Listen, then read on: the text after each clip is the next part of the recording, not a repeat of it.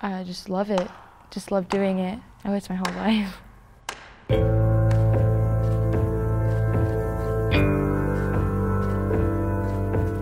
Well, she was the oldest of us.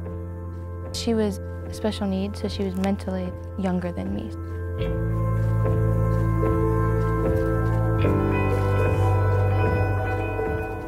She was everywhere when I played volleyball. Like, she was my biggest fan. She used to clap really loud.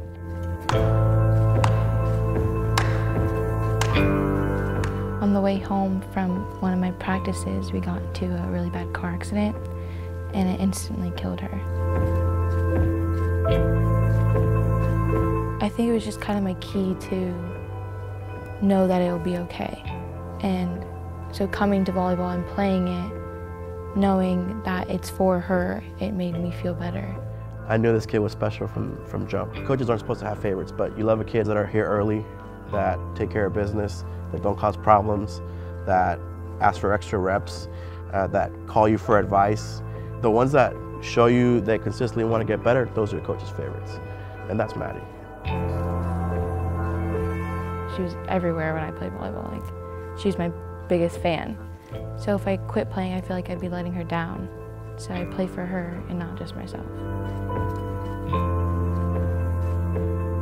Say I play in college, I know she'd be at every game. Doesn't matter where. When I go to college and I play volleyball, that's what I'll be thinking.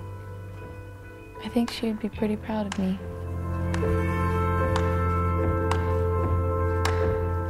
I'm Maddie Logsdon, and I'm finding my future at DME.